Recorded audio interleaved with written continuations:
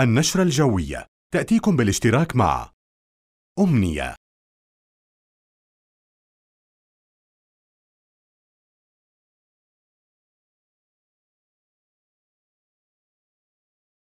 المناصير للزيوت والمحروقات. مجمع الملك الحسين للأعمال.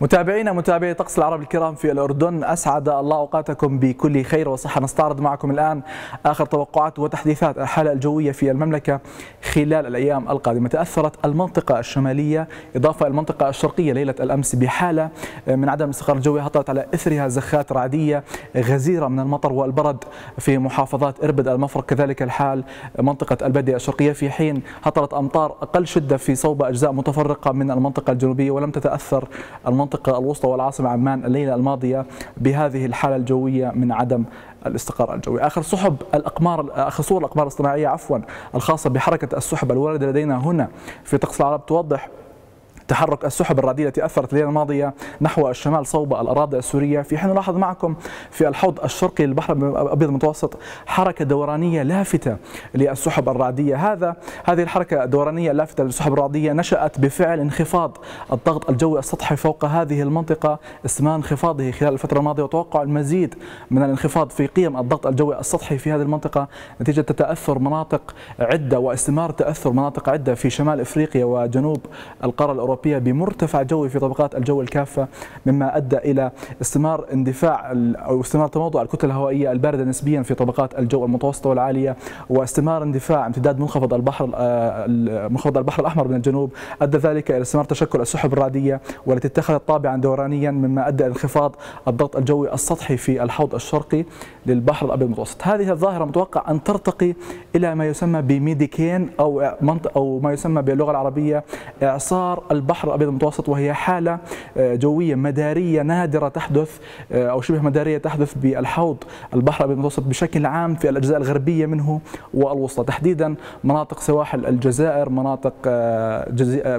مناطق جزيرة صقلية وحول إيطاليا مالطا كذلك الحال حول الجزر اليونانية في وسط البحر الأبيض المتوسط ويعتبر تأثر المنطقة الشرقية أو سواحل جنوب تركيا وشمال مصر وشمال شرق الحوض البحر الأبيض المتوسط آه، يعتبر تأثر هذه المناطق بشكل نادر بهذه الظاهرة الجوية. في حين لم تتأثر المنطقة الجنوبية الشرقية من البحر الأبيض المتوسط آه، آه، بحسب الأرشيف المناخي بأي حالات جوية مشابهة هذه الحالة الجوية ستكون من الحالات الأولى صوب هذه المناطق في الحوض الشرقي للبحر الأبيض المتوسط وتجري حاليا متابعة تطور هذه الحالة الجوية النادرة بشكل إضافي خلال الفترة القادمة. هذه الصورة تلخص ما سيحدث خلال الفترة القادمة. توقعات بأن تتشكل هنالك آه، ربما عاصفة آه، مدارية أو شبه مدارية في هذه المنطقة ترتقي إلى مستوى medicane في هذه المنطقة أو Mediterranean hurricane هذه الحالة تقريبا بنسبة مرتفعة متوقع أن تتشكل خلال ال 24 و 36 ساعة قادمة. لكن ماهية توجه هذه العاصفة آه، أو ماهية حركتها في المستقبل آه، تعتبر أمرا ليس واضحا بحسب آخر المعطيات. ربما تبقى هذه العاصفة في مكانها في هذه المنطقة حتى تتلاشى. ربما تتحرك صوب الأجزاء الشمالية من مصر أو سواحل شمال شبه جزيرة سيناء وتتلاشى.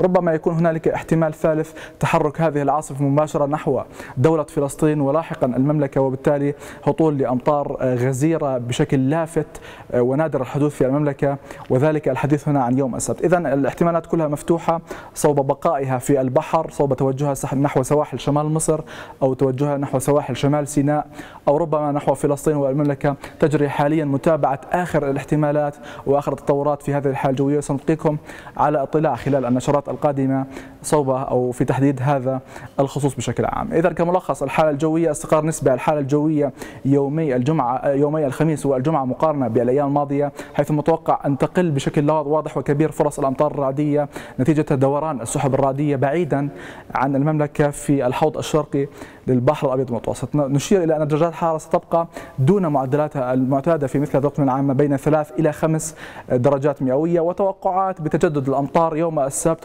وسنبقيكم على اطلاع بهذا الخصوص. في حال نجحت الاحتمالات التي تشير إلى توجه هذه الحالة صوب شمال مصر وشمال سيناء ستكون الأجواء نسبيا مستقرة يوم السبت. في حين لو توجهت هذه الحالة نحو الأردن ذلك يعني الأمر معكوسا تماما بأن تهطل أمطار غزيرة آه، في عموم مناطق المملكة تحديدا الجزء الأوسط والجنوبي من المملكة بمشيئة الله. لكن ذلك كما تحدثت جميع الاحتمالات مفتوحة وسنبقيكم على اطلاع. التوقعات الخاصة بالليلة القادمة أجواء غائمة جزئيا إلى ظهور إلى إلى صحوة في العاصمة عمان لا توقعات بهطول أمطار رعدية خلال الليلة القادمة ارتفاع في نسب الرطوبة لتصل إلى تقريبا 80% مع درجات حرارة متدنية تقل عن 15 درجة مئوية. التوقعات الخاصة بالأيام القادمة نلاحظ معكم درجة الحرارة العظمى في عمان حول 20 درجة مئوية.